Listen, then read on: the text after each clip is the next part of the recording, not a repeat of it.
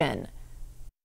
A vaccine for COVID 19 is on the horizon. Governor Doug Ducey says Arizona could see the vaccine in December. Dr. Francisco Garcia, the Pima County Chief Medical Officer, says he hopes that's the case. Honestly, I won't believe it until we have vaccine in our hot little hands uh, in our warehouses for distribution. When the county health department got news the vaccine was close to being finished, the department began preparing. We started hearing about this um, actually during the summer um, and started to do some planning around that with our partners at the state um, health department. News of the Pfizer vaccine needing to be in extremely cold freezers concerned Dr. Garcia and other officials the most. When we first started hearing that from our uh, colleagues in Atlanta, uh, we were really concerned because most most places do not have these minus 70 degree freezers. Since then, he says the county health department has gotten right to work we acquired a new warehouse, right,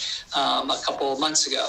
Um, we're in the process of, of getting that stood up. Getting freezers also top of mind. We are in the process of uh, procuring a ultra cold freezer, um, as well as increasing our capacity for, um, you know, storing um, vaccine and other sort of therapeutics in, in, in a cold environment. Dr. Garcia says he doesn't know when exactly the county health department will have the vaccines, but says he's hopeful the plan the county is working on will be successful. Veronica Acosta, KGUN 9 on your site.